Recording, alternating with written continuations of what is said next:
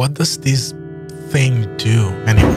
FBI, open up! Watch me take control.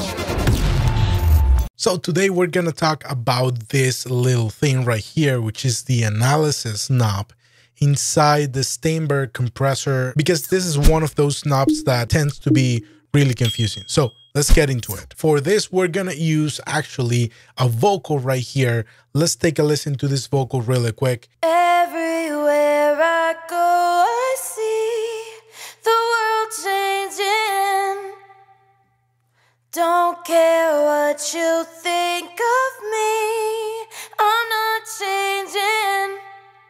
That's really nice. That's a really cool vocal. And we're going to get two compressors. So first, we're going to set up this compressor. So we have here 4 to 1 ratio. We have super fast attack. We have 0 milliseconds of hold, 50 milliseconds of release. So it's medium release. You're going to see here on the peak analysis that it's going to be 0% to 100%. But that's what's confusing. In reality, what it's doing is switching from peak to RMS. You can give it a percentage so you can have the best of both worlds with just one compressor. But for today, we're going to take a look at peak and RMS. And the second compressor that I have here has exactly the same parameters here, including the threshold minus 20 dB on both. The only difference is the analysis on this second one, it's going to be set up to RMS. So let's take a look at the first compressor here, see what it's doing.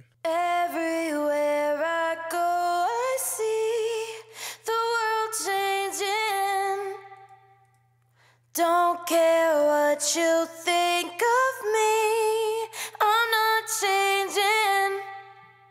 And as you can see, I switched back from the first one to the second one. Just from the get-go, you realize that here, the gain reduction on the peak compressor is actually minus 14.56. And on the RMS side, it's going to be minus 11.41 dBs. So almost 4 dBs louder on the peak side that is on the RMS side. And to illustrate this a little bit better, we're going to call up here SuperVision so you can actually see this. So if I play the first one right here, Everywhere I go, I see the world changing. So with this compressor, that red line, this one right here, it's what this compressor is going to look for when compressing. And it's gonna tame it a lot because the louder the peaks, the louder it's gonna react to it. Now you can tweak it, of course, with a threshold so you can grab only the peaks. And that's what it's for to grab those peaks and control the peaks that's what that analysis on peak mode is good for actually and that can work really well with drums but on the rms side let's take a listen here and see here in SuperVision what that's doing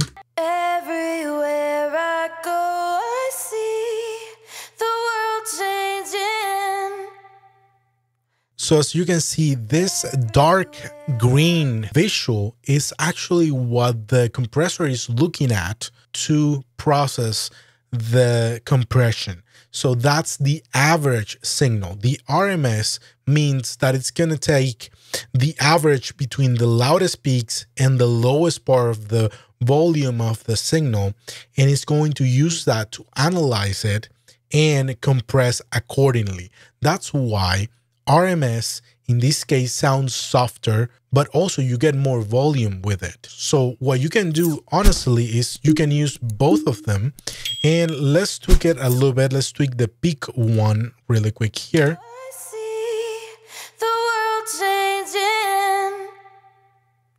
Don't care what you think of me,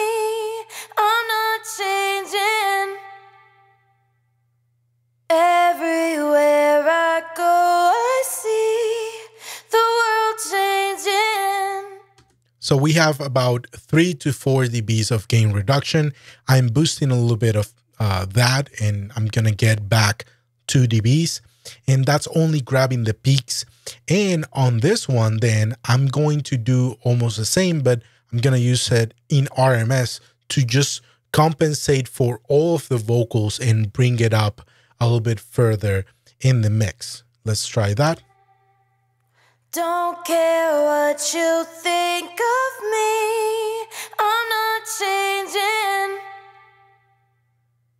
Everywhere I go, I see the world changing.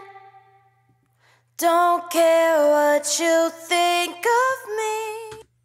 Now, this is parallel compression. We're taming a little bit of the peaks and we're compressing the average signal with the RMS analysis here on this compressor.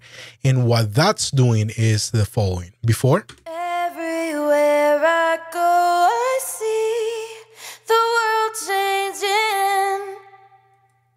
Don't care what you think of me, I'm not changing.